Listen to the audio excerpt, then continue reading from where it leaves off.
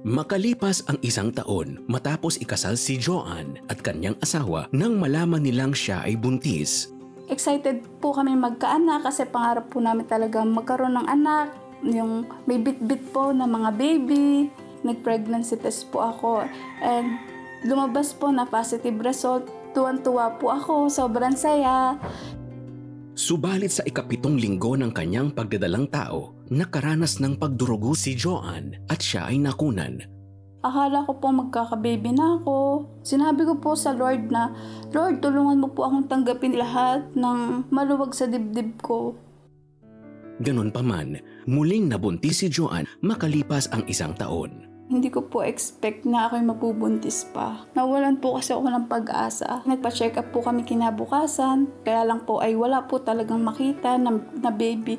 Nang lumabas ang resulta ng ultrasound na pag-alamang mayroon siyang blighted ovum, isang kondisyon kung saan tumigil ang pag-develop ng embryo at hindi nabuo ang bata sa kanyang sinapupunan.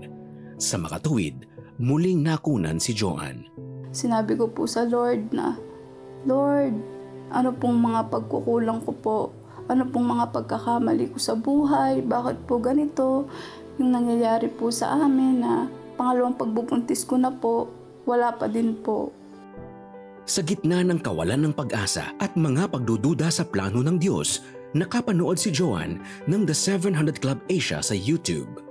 Isang kwento na tampok sa programa ang nagbigay sa kanya ng pag-asa. God, Lord, grabe. Parang twins pa. We were so overjoyed. Tapos when I gave birth, they're fraternal twins. Meaning, they came from two eggs. So from zero egg, last January, God gave me two. Nung mapanood ko po yung sa The 700 Club Asia na naging successful yung pregnancy niya, nakita ko po na may PCOS po siya. Doon po ako na, nagkaroon ng pag-asa na buhayan po ako ng loob kasi may mga ganun po palang successful na pagbubuntis.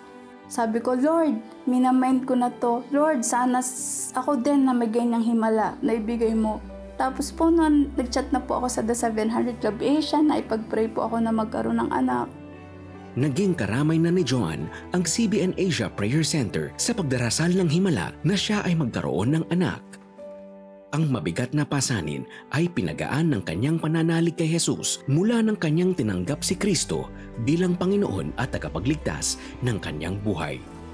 Tinugo ng Diyos ang panalangin ni Joan May 29, 2022 nang malaman niyang siya ay anim na linggo na palang buntis. Dahil dalawang beses nang nakunan, iba yung pagpapaalaga sa doktor at pag-iingat ang ginawa ni Joan. Sobrang saya ko po dahil narinig ko po yung heartbeat ng baby ko. Nagpapasalamat po ako sa Diyos for the first time po na makarinig po ako ng heartbeat ng baby na buhay na buhay po na galing po talaga sa Kanya. Bilang pasasalamat sa Diyos sa biyayang natanggap, sinimula ni Joan ang magbigay sa gawain ng Panginoon sa pamamagitan ng CBN Asia.